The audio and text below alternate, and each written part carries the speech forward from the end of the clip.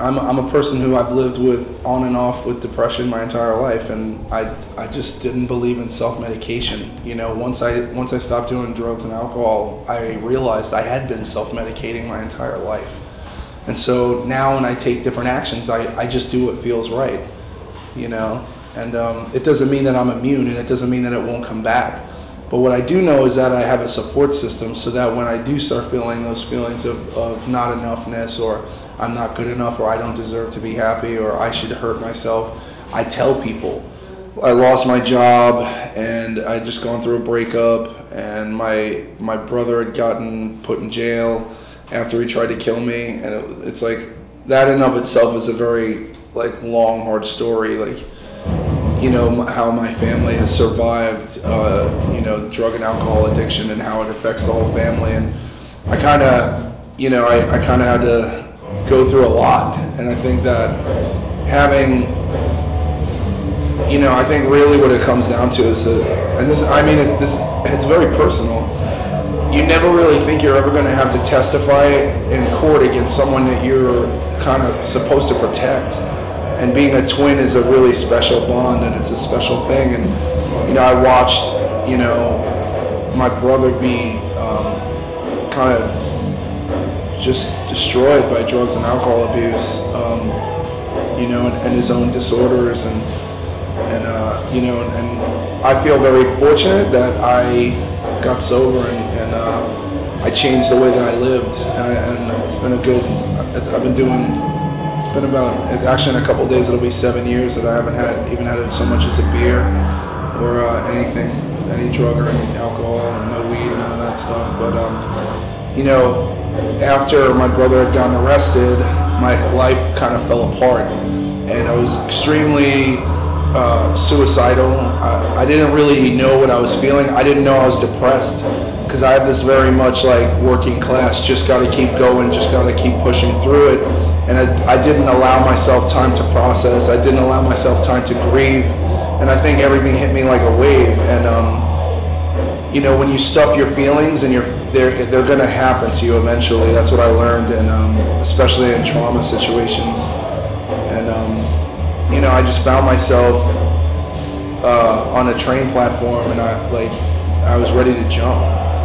You know, and I had laid my suit out for my mom to bury me in, and I didn't tell anybody what I was doing, and I, I had stopped going to therapy. I was, I'm a big advocate of, of therapy because I think it's important for people to get pro- professional help to like talk about and address our feelings in a healthy environment when we haven't learned to, you know, as young adults or as children.